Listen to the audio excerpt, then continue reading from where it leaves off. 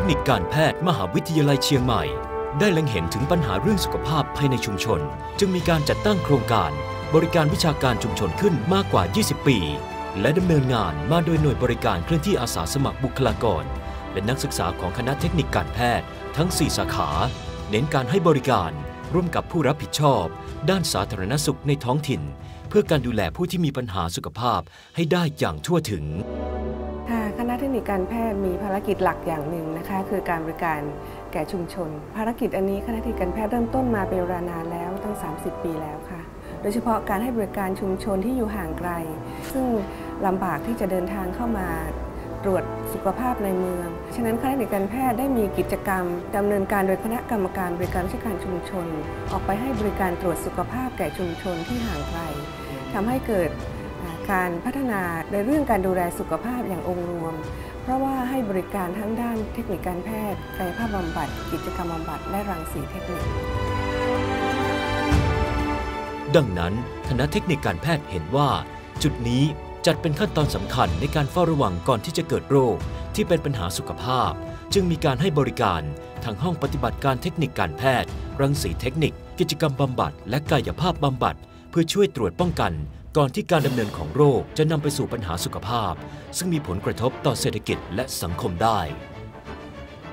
การให้บริการทางวิชาการของโครงการบริการวิชาการชุมชน คณะเทคนิคการแพทย์ มหาวิทยาลัยเชียงใหม่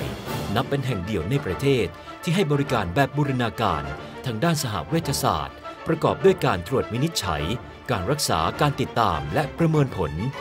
ตลอดจนการทำนายสุขภาวะ เพื่อการดำรงชีพอย่างมีคุณภาพ อย่างเต็มรูปแบบ โดยมีการให้บริการอย่างต่อเนื่องตลอดปี ร่วมกับการเรียนการสอนทางวิชาชีพ เพื่อสร้างเสริมจิตบริการ ให้กับนักศึกษาที่จะเป็นบัณฑิตรับใช้สังคม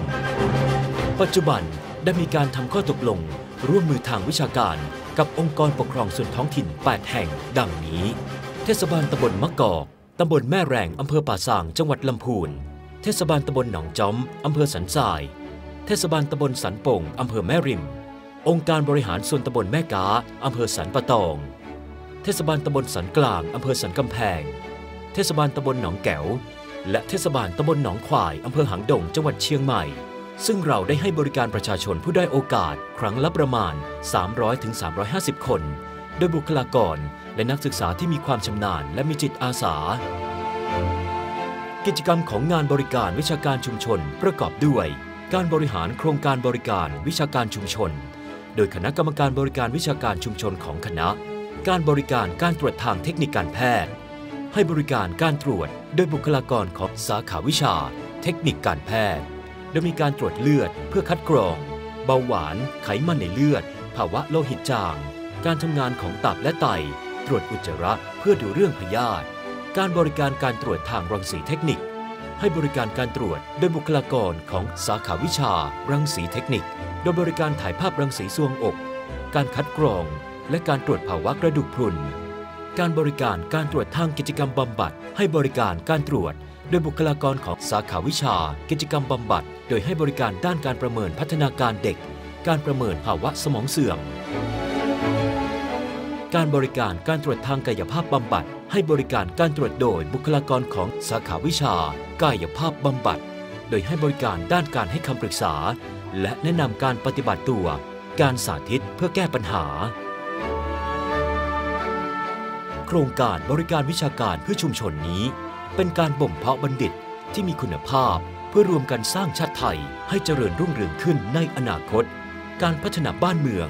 ต้องพัฒนาจิตใจคนก่อน การสร้างพลเมืองที่มีความรู้คู่คุณธรรม จริยธรรม จึงเป็นภารกิจสำคัญของมหาวิทยาลัยเชียงใหม่ที่ต้องดำเนินต่อไป